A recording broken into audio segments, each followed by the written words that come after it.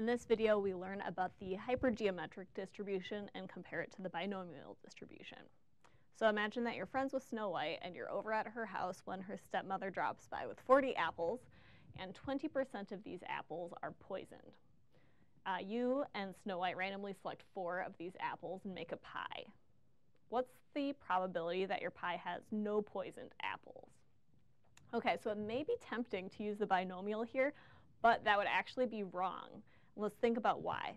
So for a binomial, we have independent identical trials.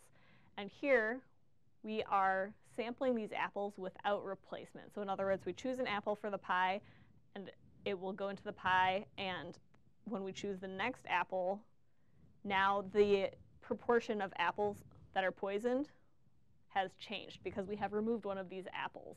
So we don't have uh, identical trials anymore. All right, so we're not putting the apples back, so that makes things a little bit different, and now we're going to use this to introduce the hypergeometric distribution. So hypergeometric is when you'll be sampling without replacement. Okay, so if we want to know generally what's the probability that we have k poisoned apples in our pie, which remember the pie has four of these apples, um, the probability x is equal to k, well, we can just go back to our combinatorial probability from a few videos ago. Um, so in the denominator, we have the total number of ways we can choose four apples out of 40. And then here we have the number of ways we could choose k poisoned apples out of the eight poisoned apples in this pile of apples that Snow White's stepmother has delivered. And then if we have k poisoned apples, that means we have n minus k apples that are not poisoned. And 32 of the apples in the delivery were not poisoned. So we have 8 choose k times 32, 32 choose n minus k. So this is going to be good for k equals 0 poisoned apples all the way up to 8 poisoned apples.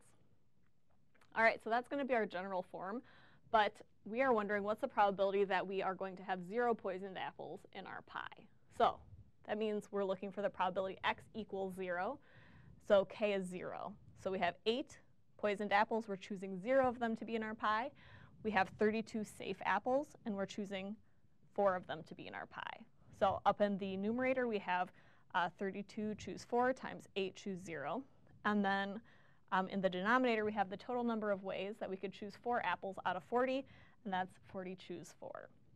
So again, it's really important when you're looking at a probability problem to think about, are these trials independent?